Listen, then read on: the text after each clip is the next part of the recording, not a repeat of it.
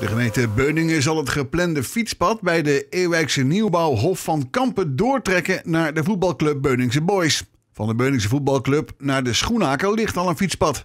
Dat betekent dat fietsers straks dankzij de nieuwe verbindingen één keer door kunnen trappen naar de Schoenaker en het centrum van Beuningen.